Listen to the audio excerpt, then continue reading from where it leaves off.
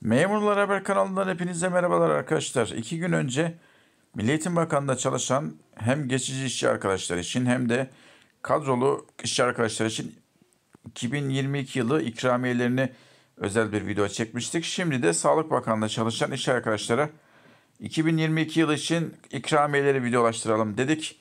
Sağlık Bakanlığı'nda çalışan 4 TL işçi kardeşlerimize Mart ayı içerisinde 30 günlük ikramiye ödenmesi yapılacaktır. YMS 206 lira 70 kuruş olanlar için yani bir, en son 201 liraydı bu bildiğiniz gibi. Daha sonra %2,5 zamla birlikte 206 TL 70 kuruşa çıkmıştı.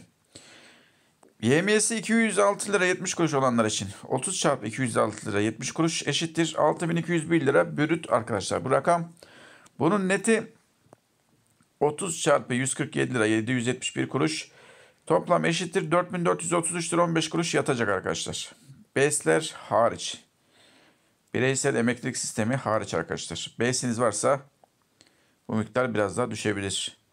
Bu ikramiye 6 ayı, ilk 6 ayı Ocak, Şubat, Mart, Nisan, Mayıs, Haziran aylarını kapsar. Vergi istisnası 30 günlüktür. İkramiyelere uygulanırsa ikramiyeler 6201 lira brüt olarak 5109 lira net olarak da yatacaktır. Eğer ki vergi istisnası maaşlara uygulanırsa maaşlar yüksek ikramiyeler düşük olur. Ancak vergi istisnası 30 günlük ikramiyelere uygulanırsa ikramiyeler yüksek maaşlar düşük olacaktır. Yani toplamda değişen bir şey alınan miktar değişmeyecektir arkadaşlar. Bu üniversite hastanelerinde 2022 yılı için 20 artı 20 olarak ödenecektir. O da 20 çarpı 147 lira 771 kuruş eşittir 2955 lira 42 kuruş olarak ödenecektir. Maaşları asgari ücret olanlar ise 30 çarpı 120 TL'den alacaklardır arkadaşlar.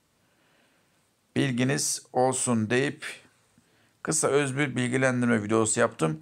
Hala anlamayan arkadaşlar varsa, kafası karışan arkadaşlar varsa videoyu geri sarıp tekrardan bir dinleyebilirsiniz arkadaşlar.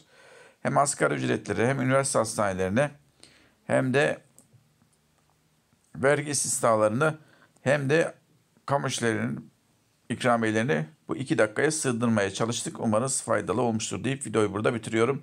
Tekrardan hayırlısı olsun. Abone olup bildirim zilini açmanız bu tarz videolarda size fayda sağlar.